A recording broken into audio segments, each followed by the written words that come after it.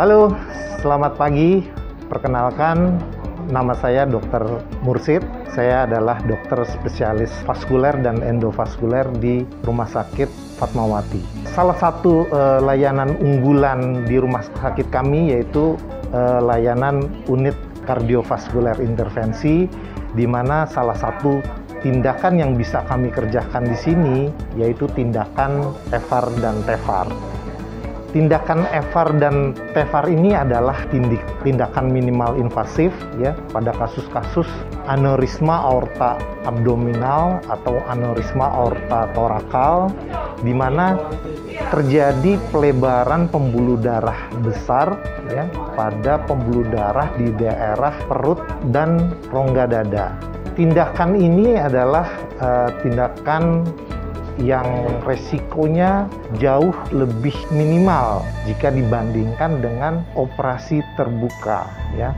Tindakan ini dilakukan pada kasus-kasus aneurisma aorta abdomen atau torakal di mana terjadi pelebaran pembuluh darah besar yang jika tidak diterapi dengan benar ya resikonya yaitu mengalami pecah ya pecah pembuluh darah. Uh, tindakan ini yaitu dengan memasang ten graf besar ya pada daerah uh, terjadinya aneurisma. Pada tindakan EVAR dan TEVAR kita tidak memerlukan sayatan yang besar. Uh, biasanya akses masuk alatnya melalui luka tusukan atau sayatan kecil pada pembuluh darah di lipat paha kanan dan kiri pasien. Setelah aksesnya terpasang, lalu kita lakukan tindakan arteriografi untuk um, melihat gambaran dari aneurismanya. Setelah itu kita tentukan uh, batas atas dan batas bawah uh, dari alat stand graph yang akan kita pasang. Setelah kita tentukan batas atas dan batas bawahnya, lalu alat stand graphnya kita masukkan melalui akses yang tadi kita telah pasang.